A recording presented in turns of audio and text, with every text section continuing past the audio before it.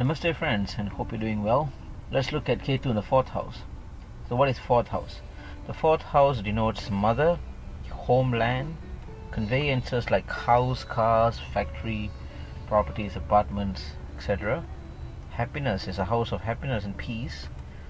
It also shows uh, office, one's working office, uh, relatives, and also the home or the physical house, the home, right? The home and the house. So what happens when Ketu um, comes into this house? So Ketu again, uh, it's a planet of um, enoughness. It provides just nice. It's not excited about getting more out of the attributes of a specific house. In this case, uh, what happens is when uh, it goes to the fourth house. The fourth house is also called the Sukhasthana. Sukha means uh, happiness, right? It's a house of general happiness. If you want to know if you will be happy in this life, uh, or generally speaking, would you be uh, contented in this life? Then look at the fourth house. So Ketu, as I said, is a uh, uh, you know he's a mediocre. He he he takes things a little bit laid back, uh, not so active, not so adventurous, not courageous. He's just uh, you know just just another average Joe per se. So when he goes to the fourth house, first of all, the feelings for the one's mother would not be as strong. Uh, it'll be just like um, you know it's it's it's not like you really love the, your mother. You will have a, a, a, detachment. Some some even would uh, lose their mother when they were young. If they have Ketu in the fourth house, they might have a stepmother, or, or the mother might even pass on, right? Uh, homeland. Now, uh, Ketu, if it is a homeland, you will make this person uh, not very patriotic about their country. They would uh, they would feel you know it's just a, it's a, place for me to stay. Full stop. There's nothing much to it. Okay, uh, patriotism is a is a privilege actually. So Ketu doesn't have it. Next would be conveyances. Now this is the worst thing that one can happen in, in a person's life, especially when they're moving on towards their adulthood where you need to earn money right? And uh, of course why do we earn money? We we would like to you know be nice. We like to enjoy the pleasures of life. Buy a nice house a fancy car you know go and see the world. This sort of things right? So what happens if Ketu comes to the fourth house because the fourth house also represents conveyances your house car uh, and your uh, the luxuries of life. When he goes there it uh, berefs everything else. You will feel that uh, all your efforts to to get a house, to acquire something in this world will be so difficult.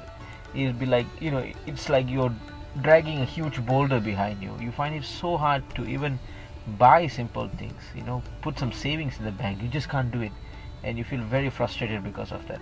And uh, that is why people who have uh, Ketu in the fourth house are seen as, you know, people who have nothing in life. They're just uh, uh, it's hard to use the word loser, but then yeah, for the lack of better word, you know, they're always uh, you know just going around, empty talks, you know, just uh, wilding away their time.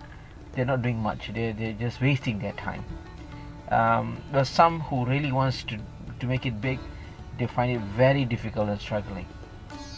Uh, also, the office. In the office, there would not be any promotions and they really don't care whether they get a promotion or not. As long as they get their salary they're happy.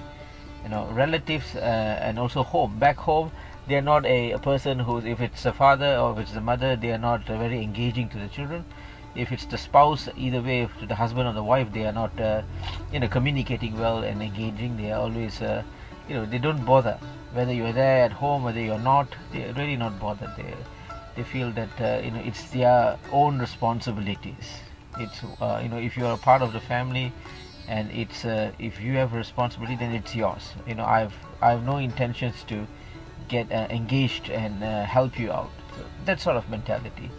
So Ketu in the fourth is really going to give a hard time uh, and uh, and, and and to make things worse if you have another planet together with it for example if you have mercury or buddha in in that same house then Mercury's uh, qualities will be then absorbed by Ketu. Ketu will have Mercury plus itself. So you can imagine all the good qualities of Mercury, like speech, eloquence, uh, you know, mathematics, logical thinking, and all that would be would be a waste. will, will, will go to a waste. That's why it's important to to to look where the nodes are, Rahu and Ketu.